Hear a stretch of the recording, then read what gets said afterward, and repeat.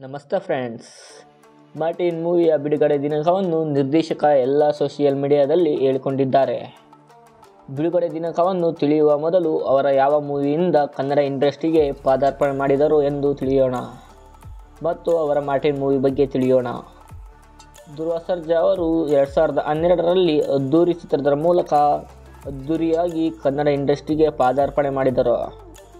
ಮತ್ತು ಇವರ ಚೊಚ್ಚಲ ನಟನೆಗಾಗಿ ಸೈಮ ಪ್ರಶಸ್ತಿ, ಸುವರ್ಣ ಪ್ರಶಸ್ತಿ ಮತ್ತು ಉದಯ್ ಫಿಲಮ್ಸ್ ಪ್ರಶಸ್ತಿಯನ್ನು ಪಡೆದರು.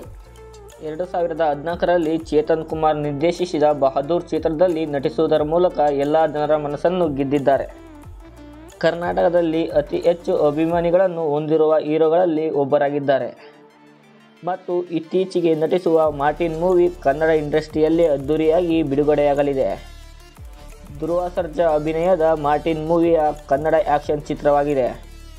ಮಾರ್ಟಿನ್ ಮೂವಿಯು ಅರುಣ್ ಬಾಲಾಜಿ ಮತ್ತು ಸ್ವಾಮೀಜಿ ಕತೆ ಬರೆದರು. ಈ ಮೂವಿಯನ್ನು ಎ ಪಿ ಅರ್ಜುನ್ ನಿರ್ದೇಶನ ಮಾಡಲಿದ್ದಾರೆ. ಈ ಚಿತ್ರದಲ್ಲಿ ಧ್ರುವ ಸರ್ಜಾ ಅವರು ಪ್ರಮುಖ ಪಾತ್ರದಲ್ಲಿ ಅಭಿನಯಿಸುತ್ತಿದ್ದಾರೆ. ಮತ್ತು ಈ ಮೂವಿಯನ್ನು ಮನೀಶ್ ಶರ್ಮಾ ಸಂಗೀತ ಸಂಯೋಜಿಸಿದ್ದು ಸತ್ಯ ಹೆಗಡೆ ಛಾಯಾಗ್ರಹಣ ಮಾಡುತ್ತಿದ್ದಾರೆ. ಈ ಮೂವಿಯು ವಾಸವಿ ಎಂಟರ್ಪ್ರೈಸಸ್ ಅಡಿಯಲ್ಲಿ ಬಿಡುಗಡೆಯಾಗಲಿದೆ. ಈ ಮೂವಿಯು ಕನ್ನಡ, ತಮಿಳ್, ತೆಲುಗು, ಮಲಯಾಳಂ, ಹಿಂದಿ ಐದು ಭಾಷೆಗಳಲ್ಲಿ ಬಿಡುಗಡೆಯಾಗಲಿದೆ. ಮಾರ್ಟಿನ್ ಮೂವಿಯು ಮಧ್ಯಮ ಬಜೆಟ್ನಲ್ಲಿ ಚಿತ್ರೀಕರಿಸಿದ್ದಾರೆ. ಈ ಚಿತ್ರದ ಎಲ್ಲ ಟೈಲರ್ಗಳು ಮತ್ತು ಪೋಸ್ಟರ್ಗಳಿಗೆ ಜನರಿಂದ ಉತ್ತಮ ಪ್ರತಿಕ್ರಿಯೆಯನ್ನು ಪಡೆದಿದ್ದು, ಈ ಮೂವಿ ದಿನಾಂಕ ಮೂವತ್ತು ಸೆಪ್ಟೆಂಬರ್ ಎರಡು ಸಾವಿರದ ಇಪ್ಪತ್ತೆರಡರಂದು ಬಿಡುಗಡೆಯಾಗುವ ದಿನಾಂಕವನ್ನು ಎ ಪಿ ಅರ್ಜುನ್ ಅವರು ಹೇಳಿಕೊಂಡಿದ್ದಾರೆ.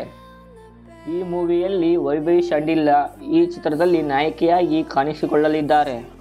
ವೈಭವಿ ಶಾಂಡಿಲ್ಯ ಅವರು ಮೇ ಇಪ್ಪತ್ತೇಳು ಸಾವಿರದ ಒಂಬೈನೂರ ತೊಂಬತ್ನಾಲ್ಕರಂದು ಜನಿಸಿದ ಸುಂದರ ಭಾರತೀಯ ನಟಿ. ವೈಭವಿ ಶಾಂಡಿಲ್ಯ ಅವರು ತಮಿಳು ಕನ್ನಡ ಭಾಷೆಗಳ ಮೂವಿಯಲ್ಲಿ ನಟಿಸಿದ್ದಾರೆ.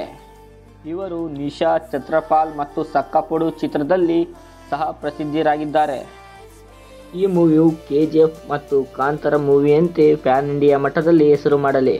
ಈ ವಿಡಿಯೋ ನಿಮಗೆ ಇಷ್ಟವಾದರೆ ಒಂದು ಲೈಕ್ ಮಾಡಿ ಸಬ್ಸ್ಕ್ರೈಬ್ ಮಾಡಿ ಹಾಗೆ ನಿಮ್ಮ ಫ್ರೆಂಡ್ಸಿಗೂ ಶೇರ್ ಮಾಡಿ.